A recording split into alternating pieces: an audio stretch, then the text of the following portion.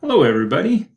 I often get asked if I can offer tutoring services to those in need of instruction, and the answer is no, I, I just have so many other projects and responsibilities, administrative things, editorial things, research things, that I just don't have time. So I finally did something about it, and I've made a new section called Tutoring on the StatWiki. If you were to go down and click on this link, it will take you to the Tutors page, where I explain that I don't have time to help, but these people do.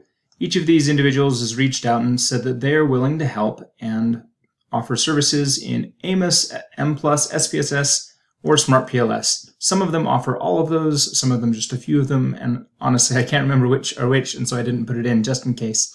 But I included their LinkedIn profiles, so you're welcome to click on them and to contact them directly. You're welcome to say I sent you, but you don't need to include me in any of your correspondence. I don't get anything from this except I get to help people, which is great. Uh, that's all I'm trying to do is to help. I don't get any, any sort of compensation from this. So please just work with them directly, and I hope this helps.